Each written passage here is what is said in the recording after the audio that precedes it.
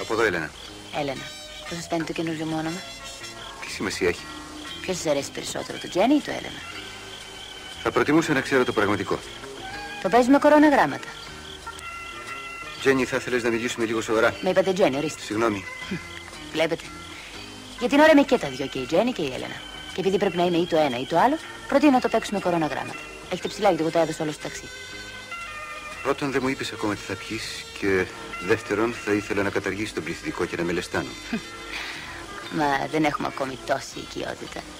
Ρίσκεις. Έστω. Ή το παίζουμε λοιπόν κοροναγράμματα, ή διαλέγεις ποιο όνομα προτιμάς. Δεν μου είπες τι θα πιεις. Ουίσκι. Ναι, Νερό λίγο. Και πάγω πολύ. ώστε να διαλέξω όνομα. Σε προειδοποιώ όμως. Καθένα από αυτά τα ονόματα είναι κάτι σαν. σαν σηματοδότης. Το ένα δείχνει το δρόμο της αρετή. Το άλλο της κακίας. Σκέψου και διάλεξε. Ξέρεις κάτι; Τι; Θα ήθελα να σε κάνω μαύρη στο ξύλο. Γιατί δεν δοκιμάζεις; Δεν έχουμε ακόμη τόση οικειότητα.